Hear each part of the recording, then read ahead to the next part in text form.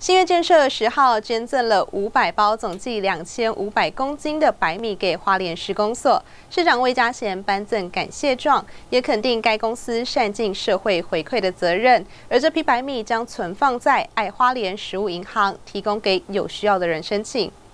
新月建设副总经理蔡雅威代表公司董事长蔡玉红到花莲施工所捐米，市长魏家贤亲自颁发感谢状。首先，谢谢我们新月建设公司哈，那我们蔡雅薇副总特别代表公司来捐赠我们非常多的白米哈，两千五百公斤。那我们希望这些白米未来进到食物银行以后，能够落实的帮助更多需要帮助的朋友们。那我们知道，在今年一月份开春以来，都有非常多，都一百四十几位的一个呃乡亲朋友们来请领食物银行的一些呃物资。那我们也希望说，借由这些物资，能够实际的帮助到需要帮助的朋友们。那也谢谢这么多的善心企业，在开春的时候就立即的来做一些物资的捐赠跟关心。那未来呃，也跟所有市民朋友报告哈，如果相亲朋友呃身边周遭有需要帮助的朋友们，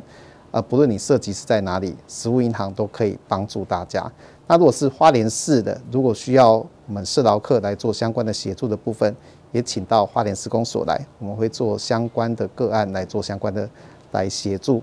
新月建设副总经理蔡雅薇表示，希望可以透过施工所的社服资源整合平台，把企业回馈的心意传达给有需要的家庭。对，因为我们公司董事长他其实一直都有在做回馈乡亲，能够帮助乡亲生活的部分。那其实以往都有做捐血的活动。那今年得知到，呃，花莲市公所这边有做了食物银行这样子的，呃，资资源整合的平台。那我们就希望能够透过这样子的平台，能够帮助到确实需要帮助的人，能够达到我们呃回馈乡里的一个用心。这五百包两千五百公斤的白米将会存放在爱花莲食物银行，有需要的民众可以到食物银行来申领。